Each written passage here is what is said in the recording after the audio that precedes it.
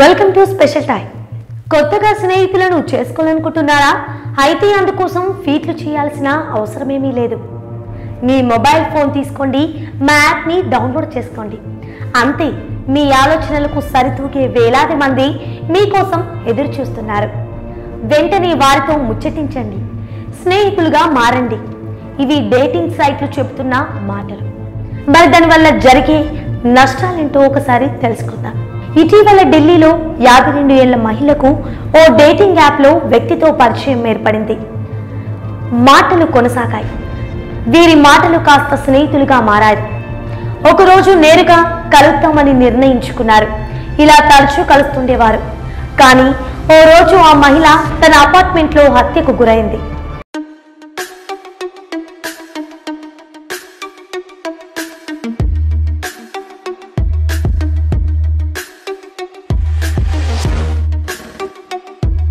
దేశంలో ఇప్పుడు డేటింగ్ యాప్లు సైట్లు పుట్టగొడుగుల్లా పుట్టుకొచ్చాయి. ముఖ్యంగా యువతను లక్ష్యంగా చేసుకుని ఈ యాప్లను రూపొందిస్తున్నారు. ఎవరి చేతుల్లో చూసినా స్మార్ట్ ఫోన్లు ఉండటంతో వెంటనే ముందు వెనుక చూడకుండా యాప్లను డౌన్లోడ్ చేసుకుంటున్నారు. అమ్మాయిలు అబ్బాయిలు అనే తేడా లేకుండా వీటిని వాడుతున్నారు. కొందరేమో నిజంగానే స్నేహితుల కోసం ఈ యాప్ను వాడుతుండగా మరికొందరేమో మోసం చేయాలనే దురుద్దేశంతోనే వీటిని వాడుకుంటున్నారు.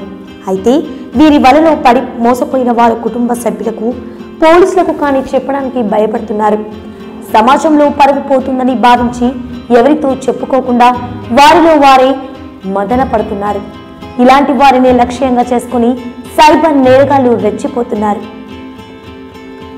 విద్యార్థులు యువకులను లక్ష్యంగా చేసుకుని స్కౌట్ అనే డేటింగ్ యాప్ ద్వారా మోసాలు జరుగుతున్నాయని కొందరు బాధితులు వాపోయారు.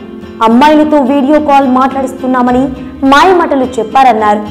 వీడియో కాల్ మాట్లాడాలంటే డబ్బులు పంపాలని అడిగారని నిజంగానే మాట్లాడతారేమోనన్న ఆశతో డబ్బులు పంపానన్నారు.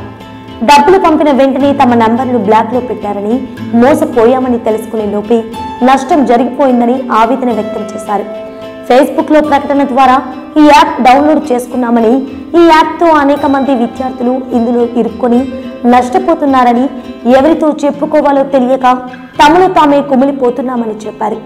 దేశవ్యాప్తంగా కాకుండా తెలంగాణ ఏపీలో కూడా ఈ దందా జరుగుతుందని పేర్కొన్నారు. వీరు సాధారణంగా చేసే తప్పులు.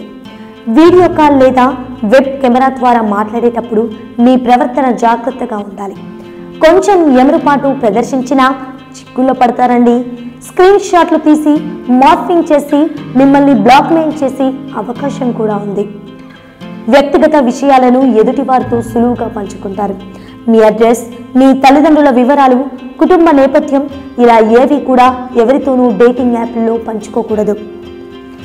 ఇక డేటింగ్ యాప్ల్లో ఉన్నవారు దాదాపు యాభై ఏడు శాతం మంది తమ గురించి పూర్తిగా అబద్ధాలే చెప్తున్నారట.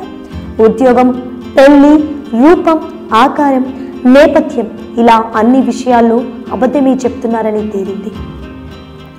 మరి మోసగాలను ఎలా గుర్తించవచ్చు? డేటింగ్ సైట్లలో మోసగాలను ఎలా గుర్తించాలో సైబర్ నిపుణులు కొన్ని జాగ్రత్తలు చెప్తున్నారు. అవతలి వ్యక్తి భాష వాక్య నిర్మాణం ఇంగ్లీష్ సరిగా లేకపోయినా అక్షర దోషాలున్నా వారిని దూరంగా ఉంచడమే మంచిది. ప్రొఫైల్ ఉన్న ఫోటోను గూగుల్ సెర్చ్ చేయాలి. ఒకవేళ మోసగాళ్ళైతే ఆ ఫోటో గూగుల్లో ఉంటుంది. స్నేహితులుగా మారిన తర్వాతే ఏవివో కష్టాలు కథలు చెప్తూ డబ్బులు అడుగుతుంటారు. ఎట్టి పరిస్థితుల్లోనూ ఎవరికి డబ్బులు పంపకూడదు. డబ్బుల గురించి మాట్లాడారంటే వారు ఖచ్చితంగా మోసగాళ్ళే. ఇక మోసపోయామని తెలిసి వెంటనే ఇంట్లో వారికి కానీ పోలీసులకు కానీ ఖచ్చితంగా ఫిర్యాదు చేయాలి. మోసగాళ్ళని గుర్తించి వెంటనే చర్యలు తీసుకుంటారు.